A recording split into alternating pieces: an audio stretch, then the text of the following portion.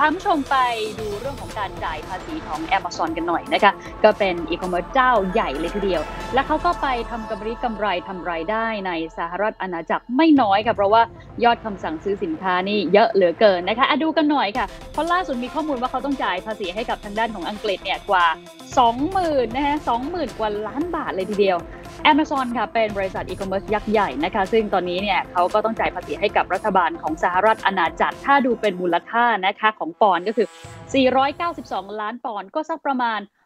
22,000 ล้านบาท หลังจากยอดขายของเขาเนี่ยเพิ่มขึ้นถึง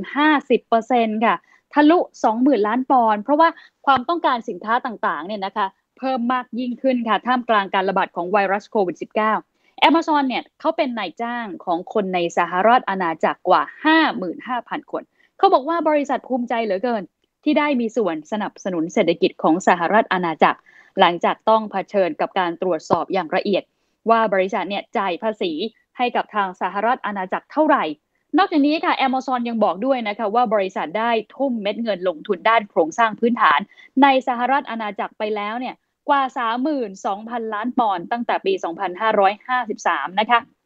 และบริษัทก็ยังตื่นเต้นกับศักยภาพในการลงทุน แล้วก็การสร้างงานการพัฒนาความสามารถที่มีผลกระทบเชิงบวกต่อชุมชน และทั่วประเทศอย่างต่อเนื่องทั้งนี้เมื่อเมษายนปีที่แล้วค่ะ รัฐบาลสหรัฐอาณาจักร ได้ประกาศเก็บภาษียอดขายดิจิทัล ในอัตราร้อยละสองนะคะท่ามกลางความกังวลว่า บริษัทเทคโนโลยีขนาดใหญ่เนี่ยจะโยกย้ายเส้นทางกำไรของตนเองเนี่ยไปยังประเทศที่เก็บภาษีต่ำกว่านะคะ แต่ว่ายอดล่าสุด 492 ล้านปอนด์นี้เขารวมเรื่องของภาษีดิจิทัลลงไปแล้วนะคะ ขอบคุณสำหรับการติดตาม TNN ช่อง 16 นะคะ แล้วก็อย่าลืมกด subscribe และกดกระดิ่งด้วยนะคะ เรายังมีวิดีโอที่น่าสนใจอีกเพียบเลยค่ะ และถ้าไม่อยากพลาดการติดตามแบบสดๆนะคะ อย่าลืมกดติดตามที่ Facebook TNN Live ค่ะ หรือง่ายๆนะคะ กดตามลิงก์ที่ขึ้นตรงนี้เลยค่ะ